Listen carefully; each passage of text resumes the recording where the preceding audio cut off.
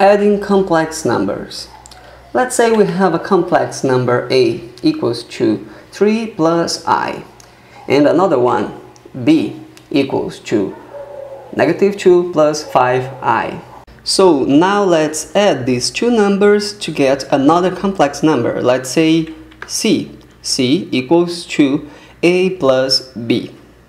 a equals to 3 plus i and b equals to negative 2 plus 5i.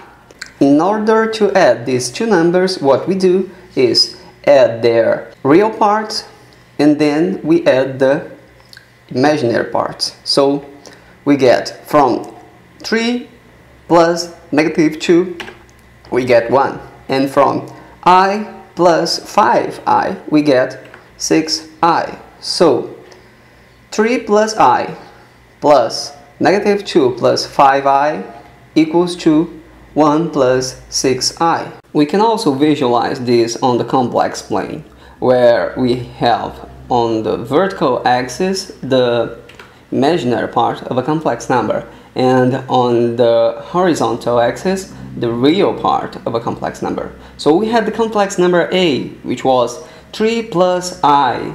We can visualize a as a vector on the complex plane on our Argand diagram.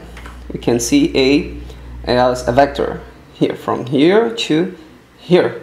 You see that the real part of a was 3 and its imaginary part was 1.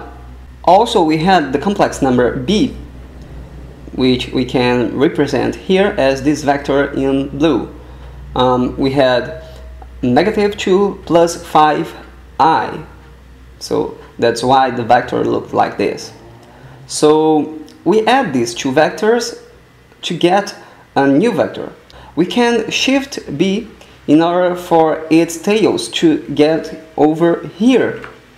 And then we can start a vector from here to here and that vector is going to be the result of the addition um, that we had a plus b that is vector c.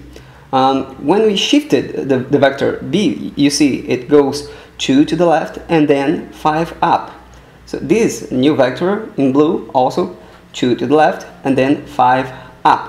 When we start a new vector from here to here, this vector is the result of the addition we had from a and b. a plus b equals c. You see that the, the head of vector c is over here. 1 and 6. 1 plus 6i. So 3 plus i plus negative 2 plus 5i equals to 1 plus 6i. So we can add complex numbers as we add vectors and that is a very important idea that we can use to solve many problems with complex numbers.